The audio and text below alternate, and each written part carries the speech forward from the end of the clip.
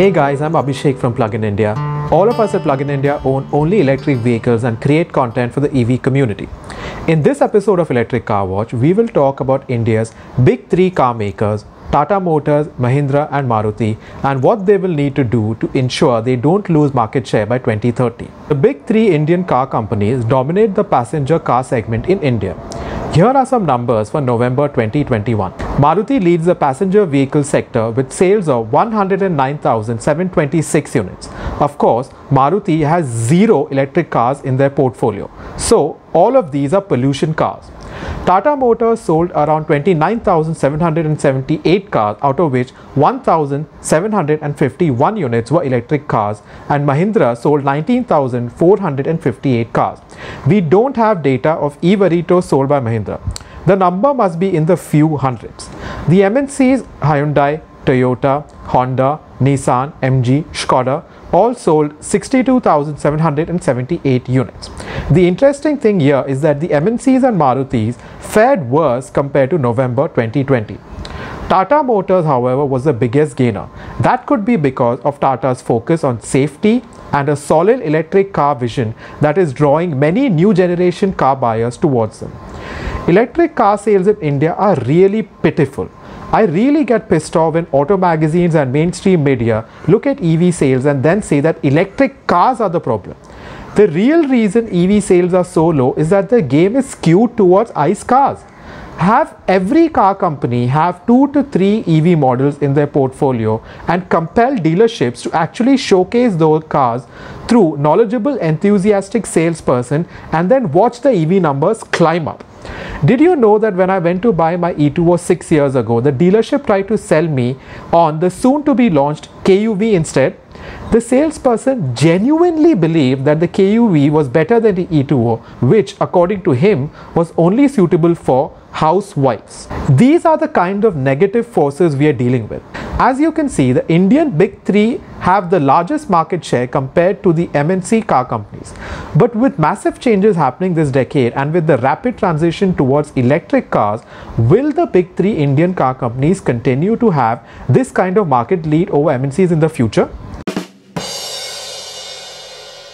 Apart from MNC car companies, in this decade, the big three will face competition from the imminent arrival of Tesla. They will also have to contend with well-funded electric car startups like Ola Electric and smaller startups like Strom Motors. Last, Chinese car companies will set up shop in India.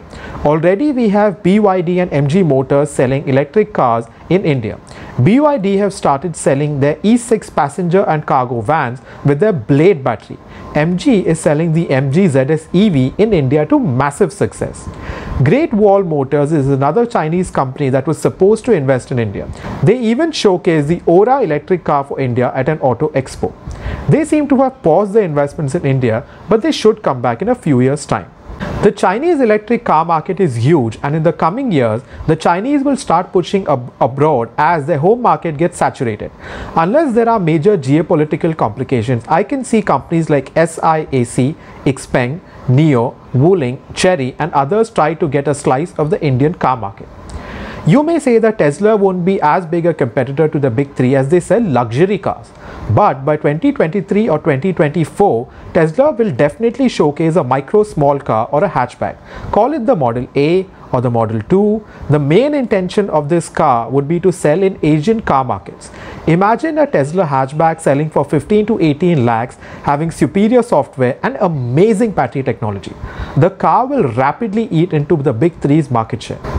I think the big three won't have to worry about MNC car companies.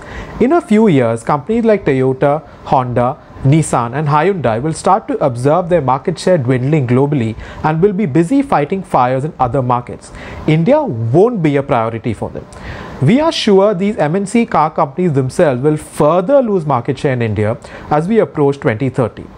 So the big three will have to worry more about Tesla, Ola Electric and Chinese electric car companies like BYD and MG. And what will be the focus of Tesla, Chinese car companies and Indian startups like Ola Electrics? Yes, you got that right, electric cars. So it is imperative for the big three, Maruti, Tata Motors and Mahindra to focus on and invest in electric car technology if they want to retain or grow their market share.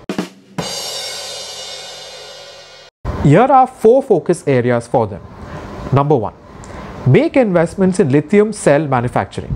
Globally, we are seeing car companies like Tesla, Volkswagen, and BYD all make their own lithium cells in gigafactories.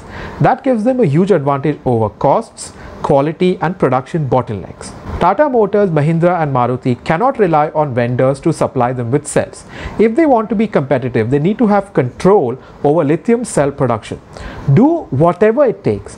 Come together and set up a JV. These big companies need to band together if they want to survive. Number two, create high voltage modular electric car platforms.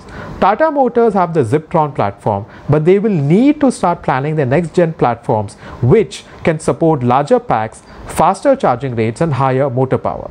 Mahindra showcased their Mesma platform back in 2018, but in, by 2022 that will look horribly outdated and we don't have even a single production car based on the Mesma platform. For all we know, it was vaporware all along. Number 3 invest in software engineering. Tesla and the Chinese are incredibly advanced when it comes to integrating software in their cars. We have also seen global auto companies like Volkswagen create dedicated software companies to help them do software better. If the big three want to truly compete with Tesla, Chinese car companies, or Indian car startups, then they will have to create awesome electric cars that are software driven. That means investing a lot of money to create world class software that will go into the cars. Number four, vertical integration. BYD, the Chinese electric car giant, is one of the truly vertically integrated car companies. They control the manufacturing of lithium cell and battery packs. They make their own semiconductor chips. They have their own EV drivetrain platform within with in-house manufactured power electronics. This kind of vertical integration will give BYD huge potential to disrupt the car market this decade. The big three will need to step up their vertical integration game if they want to be in control. Among the big three, Tata Motors seems the most promising and I predict that by 2030 they will lead both Mahindra and Maruti in passenger car sales. Tata has already acquired funds of around $2 billion for investment in EV tech development and have announced 10 electric car models that they will launch by 2025. I feel Mahindra should focus more on electrification of commercial vehicles as they won't have much competition in that area. Regarding Maruti, they will launch electric cars only when their Japanese overlords tell them to. That won't happen anytime soon.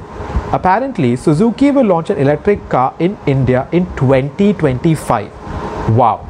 To put that in perspective, that's 42 years after the first Maruti was launched, 25 years after the Reva was launched, and 12 years after the E2O was launched. Truly cutting edge Maruti, well done.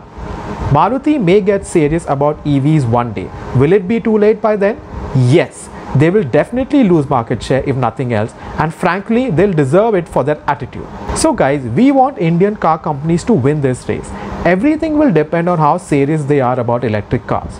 There is going to be a pitched battle this decade between the big three versus Tesla versus the Chinese versus MNCs. Whatever happens, the coming five to six years will be very interesting. Thank you for watching. Do write in the comments below on your observations and research about the EV strategy of the big three. And I will see you next week. Thank you and goodbye.